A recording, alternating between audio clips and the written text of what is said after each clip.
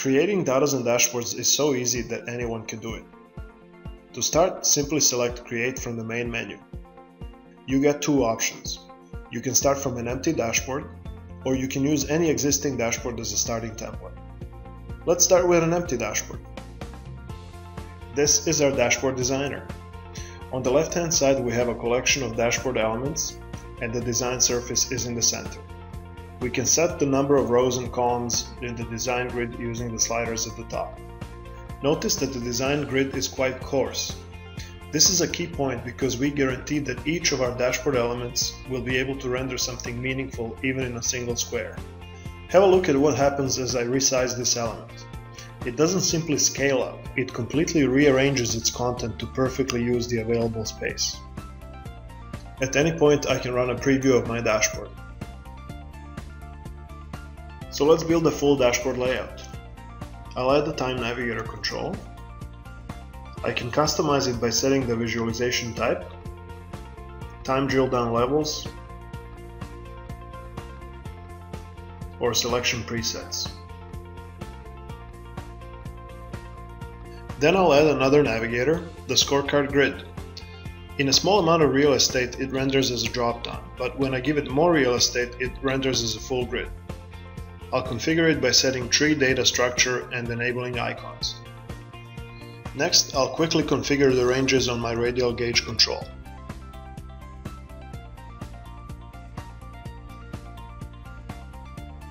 Then I'll add a couple of bullet graphs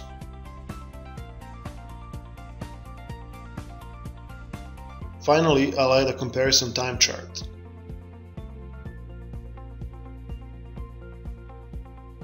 I can adjust the layout at any time if I wish to give more real estate to some controls. Let's also set the style for our dashboard. This is an easy task because Datazen Designer ships with a collection of professionally designed styles. I can simply pick the color that matches my branding and choose the optional background texture.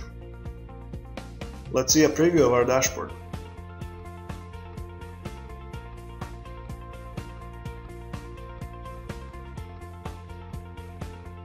Now I'll go back and name my dashboard.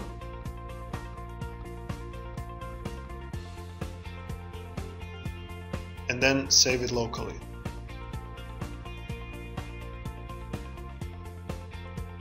When I go back to the home screen, my new dashboard will be there and it is fully integrated with the navigation structure of the app. To create a phone layout, I will open this dashboard again in the designer. I will select the phone layout in the drop-down at the top. This view gives me my phone design surface along with a collection of dashboard elements on the left. Notice that these are the existing elements that I'm already using in the master layout. They are already configured, all I need to do is arrange them in a way that works well on the smaller phone screen. Next, I'll run a preview of my phone layout. The dashboard is fully functional. The phone layout will be saved within the same dashboard definition. You notice that our dashboard runs even though we haven't provided any data. This is because the designer automatically generates simulated data. Let's take a look. This is our data view. Our control instances are on the left and data tables in the center. Each control has a set of data properties that point to one or more columns in the data tables. For example, the value of our radial gauge will be the sum of the column named metric 1. As we drop visualizations and navigators to the design surface, the simulated data structure is automatically adjusted to match the data requirements of the dashboard we're designing. For example, this fairly complex dashboard features daytime slicing because of the time navigator and data filtering through the scorecard grid. Therefore, our simulated data contains the daytime field as well as the filter field, along with the required data for all the metrics. We also have a separate table used to populate the structure of the scorecard grid. Simulated data is convenient because it shows the type of data structure we need to provide to our dashboard.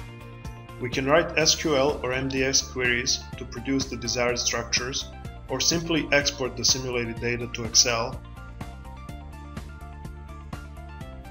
and fill in our own values. Let's build a full dashboard based on Excel data. We'll create the sales versus targets dashboard we've seen in the previous video. We need the time navigator, a radial gauge, and the time comparison chart. I'll go to the data view and add data. I'll select the local Excel option and browse for my Excel document. Datazen offers the list of worksheets. I'll select monthly targets and daily sales. Next, we'll configure data properties. Time Navigator values will come from the daily sales table. Radial gauge main value will also come from the daily sales table, while the comparison value will be drawn from the monthly targets. Similarly, main series of our time comparison chart will be drawn from daily sales, while the comparison series will come from monthly targets. And we're done! Our new dashboard functions based on the Excel dataset we provided.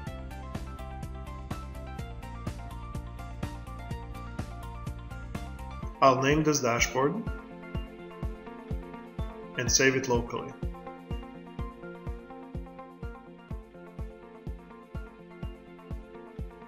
Finally, let's build a dashboard based on SQL Server data and publish it to a group of users in our organization. This time I'll go straight to the data view and select to add data from a server data source.